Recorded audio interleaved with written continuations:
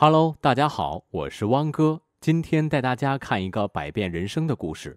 男主麦克斯家里世世代代都是做鞋的，所以他也是一名鞋匠。可是他和祖辈比起来，还是差了那么一点意思。因为他忍受不了孤独，所以他时常会羡慕别人的生活。这天，大黑来到鞋店修鞋，并要求他一定要在今晚自己取货前修好。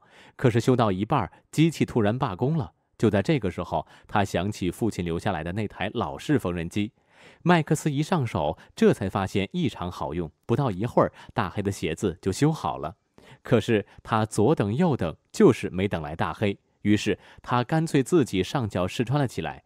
这一试可就不得了了，麦克斯变成了大黑的模样。就这样，他过上了试鞋体验他人的生活。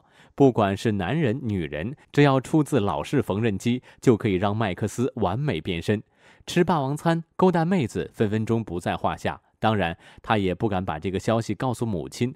看着病中的母亲如此思念离家出走的父亲，他立马又有了新想法。在缝纫机的助推之下，他变成父亲的样子，完成了母亲的愿望。隔天，母亲带着笑意离开了这个世界。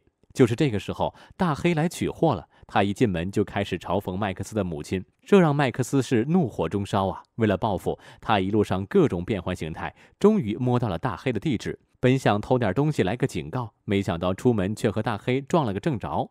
一顿混战后，麦克斯不仅打倒了大黑，还成功拿到了背后的名表。随后又跟着大黑的手下卷入了一场金钱交易。原来大黑和房地产私下在做交易，回到家一个不小心就从大黑上了西天。因为良心未泯，他还是去自首了。可是警察上门查看，却什么都没发现。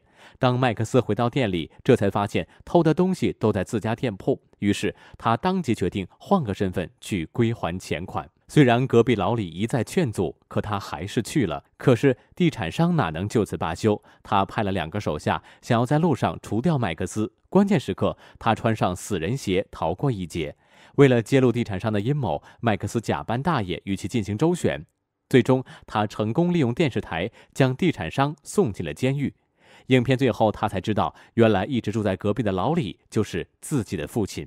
他一直用别人的身份生活着。最后，他告诉麦克斯，是自己帮他处理了大黑的尸体，而且还留了很多的财产。故事到这里就结束了。让我们回到现实生活。好了，我们下期再见。